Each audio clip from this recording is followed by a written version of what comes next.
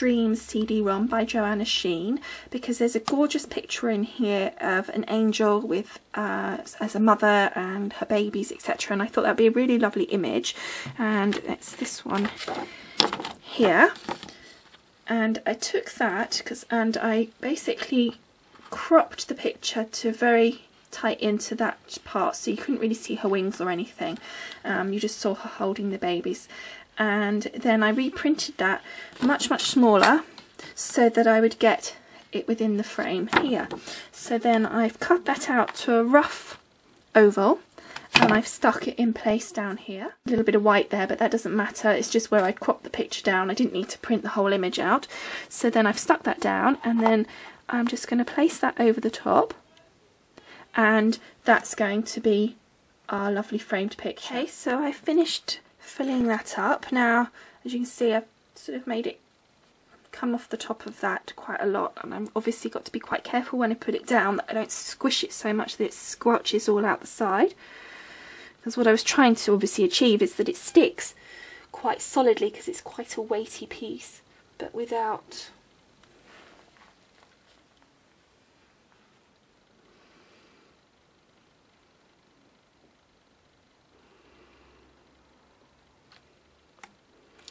Now that must be reasonably straight because it's touching the point there and there. So now let's just straighten up the actual side so it's pushed down evenly.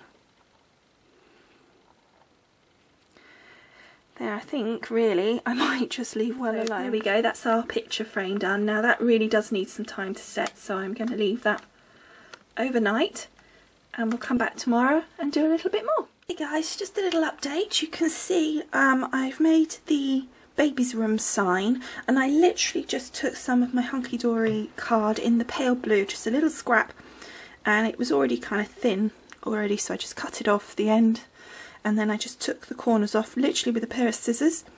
I added two little gems at the side which are kind of meant to be the part where the string is hanging from. I then added the baby's room, the baby's part, which was from a set of stickers that I just got from a from a local um, like gift store. It wasn't even a craft store, so I just popped those on because I thought they were really fun with the little um, polka dots on them. And then I added the word room by hand, and then I then realised, having stuck it down, that I should have put this the twine underneath so I lifted it back off and put my twine in.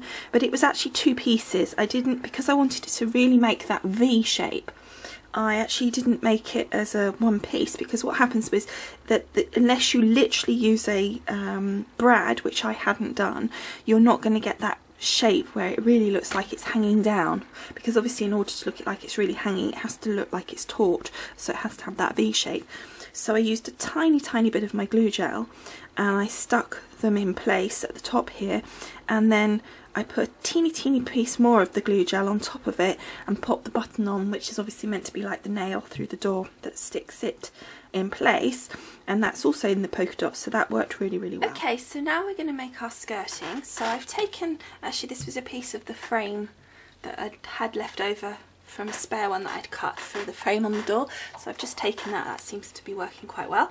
So then I'm just going to lay that up against the door frame here and just make a little mark and then we'll cut that.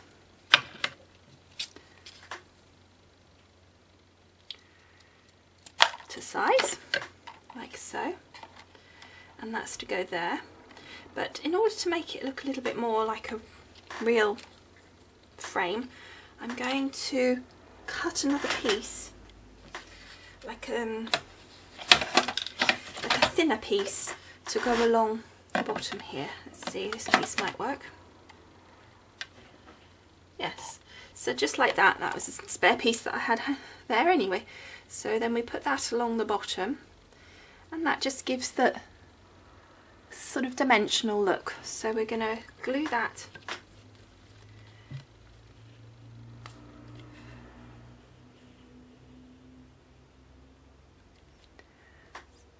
going to glue that down on here.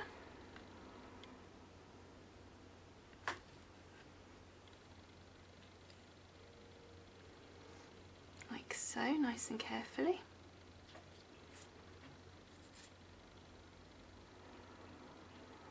And then just leave that to dry.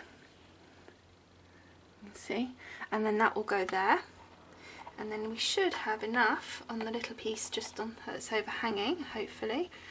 Yeah, that will do that edge piece as well, so that'll be good. So while that's just drying, we'll cut a piece for here. Just cut this piece off. And then we can use that piece just to adhere onto that bit there. And then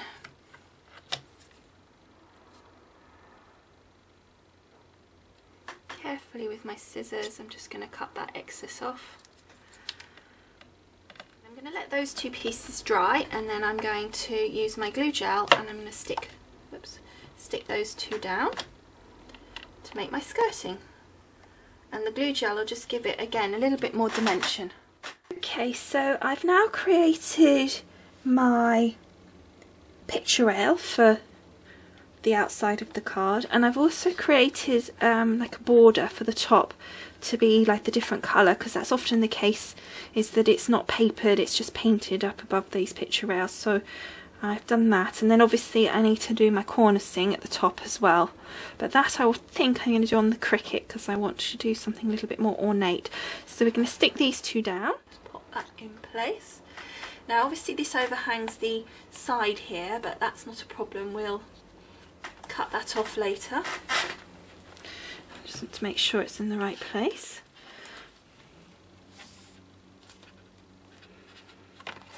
There we go. So I'll let that all set and then I'll cut that off. And then the next thing is my picture rail. And again, we're going to put the glue gel on this, but I'm going to do this a little bit more depth to it. And then we're going to pop that down.